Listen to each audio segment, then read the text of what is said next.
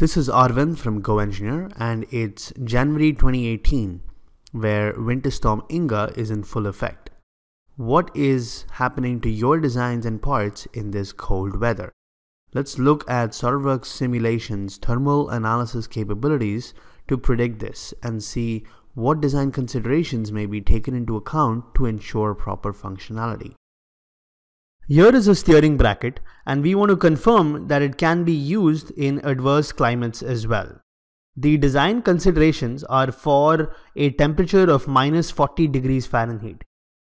We're going to look at two specific scenarios. For the first case, let's look at this railway line and notice the gap in the middle. This gap is placed so that the line may expand in hot weather and not touch each other, and contract in cooler weather but still allow the train to pass over. To calculate the compression of our part, we select a linear static analysis, specify material,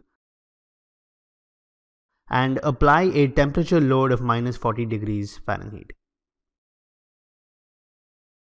To restrain the model, we use soft springs.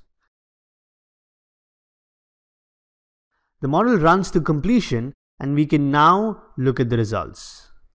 Stresses are usually low in such cases, but we want to analyze the maximum displacement and ensure our designs are functionable at this compressed state.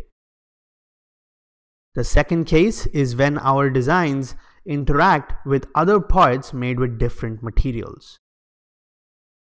Due to parts compressing at different rates, stresses develop at contact regions.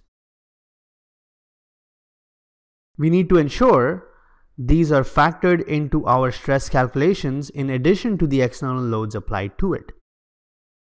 In this assembly, different materials have been specified, but the temperature for the entire assembly is set to minus 40. Soft springs are used again and the study is ran. We see the faces where the parts are bonded have stresses developed in them due to the different rates of compression.